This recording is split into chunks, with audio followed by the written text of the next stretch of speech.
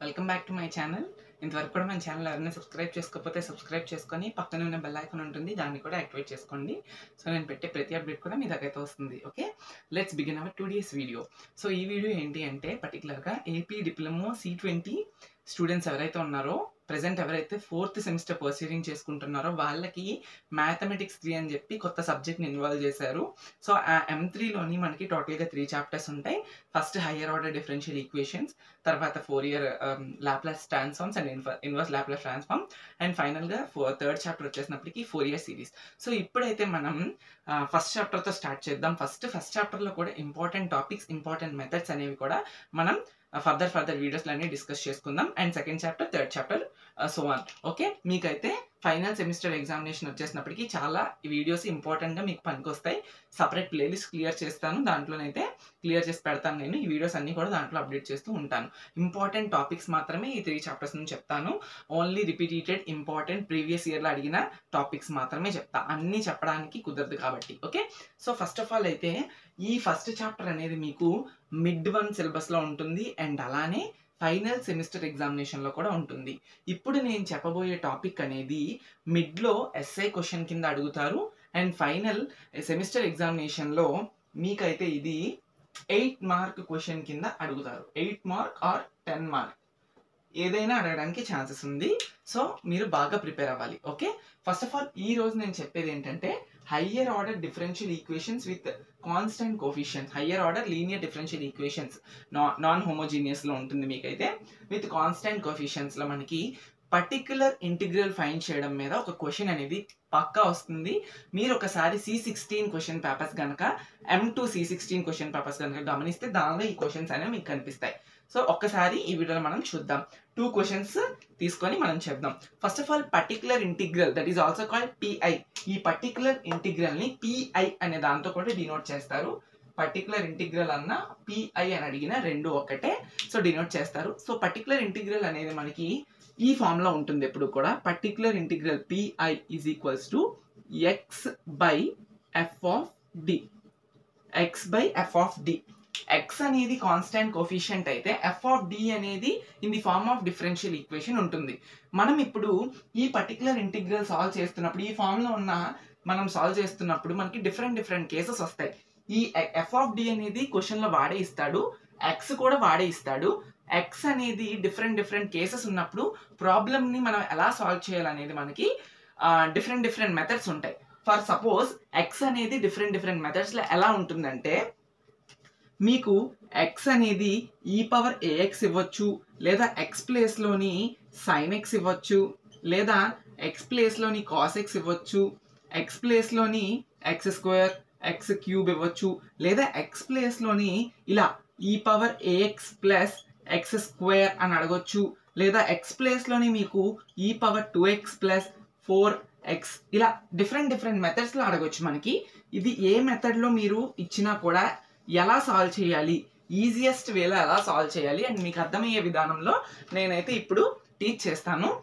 First అయితే మాత్రం మనం ఎక్స్ ప్లేస్లోని ఈ పవర్ ఎక్స్ ఫామ్ ఇచ్చినప్పుడు ఎలా సాల్వ్ చేయాలి అనేది మనం ఒకసారి చూద్దాం. సో ఈ ఎక్స్ ప్లేస్లోని ఈ పవర్ ఏఎక్స్ ఇచ్చినప్పుడు ఎలా సాల్వ్ చేయాలనేది మనం ఒకసారి అబ్జర్వ్ చేద్దాం. సో ఓకే సో ఇప్పుడు మనం టూ క్వశ్చన్స్ తీసుకుందాం. Find particular integral of D square minus three D plus two into Y is equals to E power three X so మీకు ఇందాక చెప్పినట్టుగానే ఎక్స్ ప్లేస్లో ఇక్కడ ఈ పవర్ త్రీ ఎక్స్ ఇచ్చారు. సో ఇందాక చెప్పిన విధంగా లేదు కదా అంటే మనం కన్వర్ట్ చేసుకోవాలి. ఇందాక మీకు ఏం చెప్పాను? ఎలా ఉంటుందని చెప్పాను? Particular integral is equals to X by F of డిలో ఉంటుందని చెప్పాను. మన క్వశ్చన్ ఇలా ఇచ్చాడు.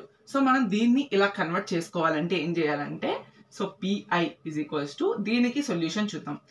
PI is equals to one by D square minus three D plus two into E power three X. So చూసారుగా ఇప్పుడు ఎక్స్ ప్లేస్లోకి ఇది వచ్చేసింది ఎఫ్ ఆఫ్ డి ప్లేస్లోకి ఇది వచ్చేసింది. సో అంటే ఈ ఫామ్లో ఉన్నట్టు. ఇక్కడ ఎక్స్ ప్లేస్లో మనకి ఏమి ఇచ్చారు? ఈ పవర్ త్రీ ఎక్స్ అనేది ఇచ్చారు. సో ఈ పవర్ త్రీ ఎక్స్ ఇచ్చినప్పుడు మనం పర్టికులర్ ఇంటిగ్రల్ ఈ ఈక్వేషన్కి ఎలా ఫైన్ చేయాలి అంటే first of all E power three X అంటే ఈ పవర్ ఏఎక్స్ ఫామ్లో ఉంది. సో ఈ పవర్ ఏఎక్స్ ఫామ్లో ఉంది. సో ఇక్కడ ప్రతి డీలో ఇది డి కదా ఈ ప్రతి డీలోని మనం త్రీని సబ్స్టిట్యూట్ చేయాలి.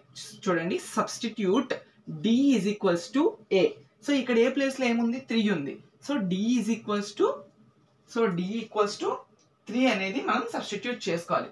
సబ్స్టిట్యూట్ చేసుకున్న తర్వాత మీరు చూసుకున్నట్టయితే సబ్స్టిట్యూట్ చూసుకున్న తర్వాత one by three square minus three into three plus two so ఎంత అవుతుంది? One by three square nine minus three into three nine plus two. ఇంకా మనకి ఇది కూడా కంటిన్యూ చేయాలి. ఇది రాయాలి. E power three X E power three X so ఫైనల్గా మనకు వచ్చే ఆన్సర్ ఎంత? నైన్ నైన్ క్యాన్సిల్ అయితే one by two into E power three X so one by two into E power three X ఇది మనకి particular integral of for particular question D square minus three D plus two so ఇలాగైనా అడగొచ్చు. లేదనుకున్నట్టయితే ఇలా అడగకుండా మీకు ఇంకొక వేళ అడిగితే కొంచెం సమ్ అనేది లాంగ్ ఆన్ ప్రాసెస్ అవుతుంది. సో అది నేను ఇప్పుడు డీటెయిల్డ్గా చెప్తాను. ఒకసారి చూడండి. ఇది ఎలా అడగకుండా ఇంకో వేలో కూడా అడగొచ్చు. అదే సెకండ్ క్వశ్చన్కి ఎగ్జాంపుల్ సెకండ్ క్వశ్చన్ చూసినట్టయితే PI is equals to one by D square minus four D plus four into two into e power two x so two into e power two x దీన్ని మీరు కేర్ఫుల్గా observe చేస్తే ఒకసారి చూడండి ఇక్కడ. D D is equals to a substitute చేయమని చెప్పాను. ఇక్కడ ఏ ప్లేస్లో ఏముంది? టూ ఉంది. సో టూని సబ్స్టిట్యూట్ చేయండి. ఇప్పుడు ఏమవుతుందంటే one by two square minus four into two plus four into two into e power two x ఇది ఖచ్చితంగా రాయాల్సిన ఇంపార్టెంట్ క్వశ్చన్ ఇది. ఇది ఇంపార్టెంట్ క్వశ్చన్ ఇదే ఫైనల్ ఎగ్జామ్లో అడుగుతూ ఉంటాడు. ఇందాక చెప్పిన మోడల్ అనేది జస్ట్ ఎగ్జాంపుల్ అంత చిన్నది అడగడు. ఇన్ కేస్ అడిగితే three mark question short answer కింద మీకు అడిగే ఛాన్సెస్ ఉంటుంది. So one by two square minus four into two plus four ఇప్పుడు ఏమవుతుందంటే టూ స్క్వేర్ అంటే four. Four plus four eight. Eight minus four into two eight. అంటే one by zero. Two e power two x. So ఎప్పుడైతే ఇలా one by zero ఈ డినామినేటర్లో zero వస్తుందో answer అనేది ఇది కాదు. ఇంకా ఫర్దర్గా మనం సాల్వ్ చేయాలి. మనకి ప్రీవియస్ కేసులోని ఆన్సర్ అనేది one by two e power three x. I guess. So ఇలా వచ్చింది ఆన్సర్. సో ఇలా వస్తే కిందన టూ వచ్చింది కదా అంటే కాన్స్టెంట్ వచ్చింది కానీ జీరో రాలేదు. కాబట్టి అదే ఆన్సర్ బట్ మనకి ఈ కేసులోని డినామినేటర్లో జీరో ఉంది. అంటే విచ్ ఈస్ నాట్ డిటర్మైన్ మనం చెప్పకూడదు. ఆన్సర్ అనేది ఇది కాదు. ఇంకా మనం ఫర్దర్గా సాల్వ్ చేయాలని అర్థం. సో ఇప్పుడు ఏం చేయాలంటే ఇలా జీరో వచ్చింది కాబట్టి ఇక్కడతో ఆగకుండా మళ్ళీ ఇక్కడ ఇచ్చిన డినామినేటర్లో ఇచ్చిన ఈక్వేషన్ చూడండి. ఈ ఈక్వేషన్కి డిఫరెన్షియేషన్ చేయాలి. సో డిఫరెన్షియేషన్ అంటే ఏమంటే నార్మల్ డిఫరెన్షియేషన్ సో ఈ ఈక్వేషన్కి D square minus four D plus ఫోర్కి డిఫరెన్షియేషన్ ఎంత అవుతుందంటే డి స్క్వేర్ డి స్క్వేర్ అంటే నార్మల్గా ఎక్స్ స్క్వేర్ అనుకోండి. ఎక్స్ స్క్వేర్కి డిఫరెన్షియేషన్ ఎంత అవుతుంది? టూ ఎక్స్ అవుతుంది. సో ఇక్కడ ఎక్స్ ప్లేస్లో డి ఉంది. అంటే డి స్క్వేర్కి డిఫరెన్షియేషన్ టూ డి అవుతుంది. అంతే కదా? సో టూ డి మైనస్ నార్మల్గా ఫోర్ ఎక్స్కి డిఫరెన్షియేషన్ ఏం రాస్తాం? మీకు అర్థం కావాలంటే ఫోర్ ఇంటూ ఫోర్ కాన్స్టెంట్ బయటికి తీసుకొస్తున్నాం. With respect to x x so D by DX of x ఎంత? వన్ ఇంటూ ఫోర్ ఉంది కాబట్టి అంటే ఫోర్ తీసుకుంటాం. అలానే మనకి ఏముంది ఇక్కడ? ఫోర్ డి ఉంది. ఫోర్ డికి డిఫరెన్షియేషన్ ఎంత? విత్ రెస్పెక్ట్ టు డి చేయాలి. ఎక్స్ చేయకూడదు. సో డి అంటే డిఫరెన్షియేషన్ ఆఫ్ డి అనేది వన్ అయ్యింది ఆల్రెడీ ఫోర్ కాన్స్టెంట్ ఉంది. సో మల్టిప్లై చేసాం. Four into one four so two D minus four and plus four ఉంది. ఫోర్కి డిఫరెన్షియేషన్ కాన్స్టాంట్కి డిఫరెన్షియేషన్ ఎంత? సున్నా.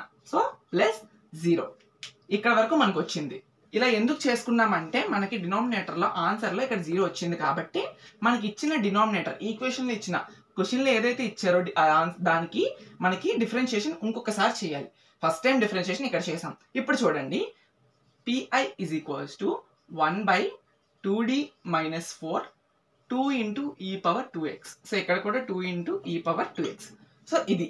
సో ఇప్పుడు మళ్ళీ మనకి డి ప్లేస్లోని టూని సబ్స్టిట్యూట్ చేయండి.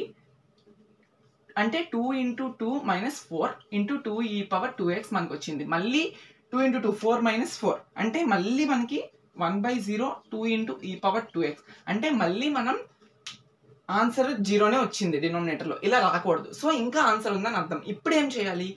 ఫస్ట్ టైం జీరో వచ్చినప్పుడు దానికి ముందు ఉన్న దానికి డిఫరెన్షియేషన్ చేసాం ఇప్పుడు ఇక్కడ జీరో వచ్చినప్పుడు మళ్ళీ దీనికి డిఫరెన్షియేషన్ చేయకూడదు. ఇప్పుడు ఇక్కడ జీరో వచ్చింది కాబట్టి దీనికి ముందున్న ఏదైతే ఉన్నదో డినోమినేటర్లో ఆ టర్మ్కి ఆ పర్టికులర్ ఈక్వేషన్కి మనం డిఫరెన్షియేషన్ చేయాలి. సో ఇప్పుడు దీనికి ఇక్కడ జీరో వచ్చింది. దీనికి ముందు ఉంది ఏముంది? టూ డి మైనస్ ఫోర్ ఉంది. దానికి డిఫరెన్షియేషన్ చేస్తే PI is equals to one by two D minus four into two e power two x so దీనికి డిఫరెన్షియేషన్ చేస్తే one by two into D అంటే డిఫరెన్షియేషన్ అంతా డికి డిఫరెన్షియేషన్ వన్ అవుతుంది. Two into two so two minus ఫోర్కి differentiation సున్నా. So ఇంకా రాయాల్సిన అవసరం లేదు. Into two e power two x so మీకు ఒక చిన్నది ఇక్కడ నేను చెప్పాలి అది చెప్పడం మర్చిపోయాను. అదేంటంటే సో ఫస్ట్ ఆఫ్ ఆల్ మీరు ఇలా సాల్వ్ చేసినప్పుడు సాల్వ్ చేసినప్పుడు ఎప్పుడైతే మీకు ఇక్కడ జీరో వచ్చింది కదా జీరో వచ్చిన తర్వాత మీరు ఆన్సర్ చేస్తారు కదా డిఫరెన్షియేషన్ అప్పుడు మీకు ఇక్కడ ఎక్స్ అవుతుంది. ఇది ఎక్స్ బై అని తీసుకోవాలి ఓకేనా ఎక్స్ బై అని తీసుకోవాలి. ఆ తర్వాత ఫస్ట్ టైం డిఫరెన్షియేషన్ చేస్తే ఎక్స్ తీసుకుంటారు. సో ఇక్కడతో ఆన్సర్ ఆగిపోలేదు మనకి. ఏమొచ్చింది ఇక్కడ? X by zero into two e power two x వచ్చింది. మళ్ళీ జీరో వచ్చింది డినామినేటర్లో కాబట్టి మళ్ళీ ఇంకొకసారి దీనికి డిఫరెన్షియేషన్ తీసుకున్నారు. అంటే రెండోసారి తీసుకున్నారు కాబట్టి మళ్ళీ ఇక్కడ ఎక్స్ స్క్వేర్ అని తీసుకోవాలి. ఇక్కడ ఆల్రెడీ ఎక్స్ ఉంది మళ్ళీ ఇక్కడ ఎక్స్ స్క్వేర్ అని తీసుకోవాలి. ఇన్ కేస్ కనుక మీరు మళ్ళీ ఇక్కడ ఉన్నదానికి ఈక్వేషన్స్ తీసుకుంటే అప్పుడు ఎక్స్ క్యూబ్ని ఇంటూ చేయాలి.